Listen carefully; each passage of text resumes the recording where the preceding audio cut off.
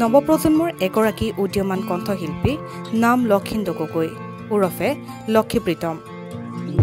ডুমডুমা মহাবিদ্যালয়ৰ ষষ্ঠ ষান্মাসিকৰ ছাত্ৰ লক্ষী প্ৰীতম।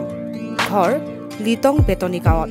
নমস্কাৰ মই লক্ষীন্দ্ৰ গগৈ বৰ্তমান ডুমডুমা মহাবিদ্যালয়ৰ ষষ্ঠ ষান্মাসিকৰ ছাত্ৰ। মোৰ ঘৰ লিটং বেতনী আৰ্থিক দুৰৱস্থাকো নেওচি পঢ়াৰ লগতে সংগীতৰ জগতো আগুৱাই আহিছে লক্ষী প্ৰীতমে। থকা মৰমবোৰে কিয় আজি কন্দুৱাই হেৰুৱা সঁচা মৰমে বুকুখনি ভাঙি যায়।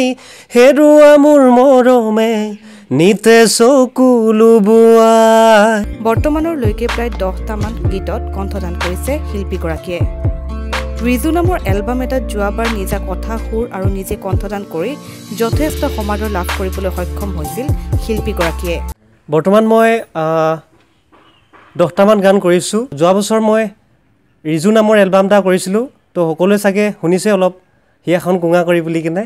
এইবাৰ দুহেজাৰ বিছ কনেং নামৰ এটা এলবামত কণ্ঠদান কৰিছে লক্ষী প্ৰীতমে যোৱা বছৰ দৰে এইবছৰো মই দুহেজাৰ বিছ চনৰ এটা এলবাম কৰিলোঁ কনেং নামৰ। বৰ্তমান ইউটিউবত উপলব্ধ?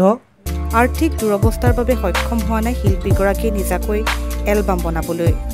শেহতীয়াকৈ বহুতো অনুষ্ঠান প্ৰতিষ্ঠানত গীত পৰিৱেশন কৰিছে শিল্পীগৰাকীয়ে।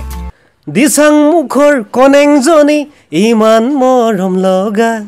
মৰমতে বহি থাকোঁ ঘাটতে ৰৈ দুবেলা। দিচাং মুখৰ কনেংজনী ইমান মৰম লগা। মৰমতে বহি থাকোঁ ঘাটতে ৰৈ দুবেলা। যোৱা বছৰৰ দৰে এই বছৰ বিহু মঞ্চত গীত পৰিৱেশন কৰিবলৈ সাজু হৈছে শিল্পীগৰাকীয়ে।